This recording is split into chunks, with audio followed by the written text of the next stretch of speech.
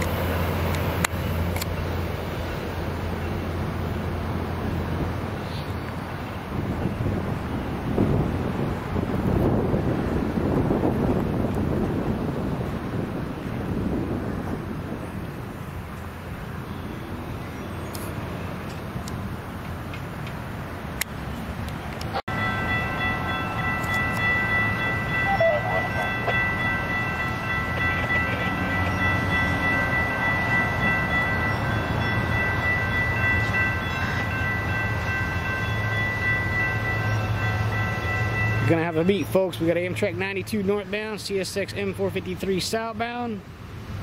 God, they made him wait in the hole at Delta for two and a half freaking hours.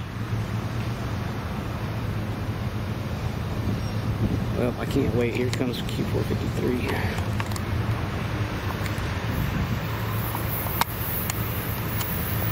Of course, there's 92. Shit. Alright, folks, here it is. Take it for what it is.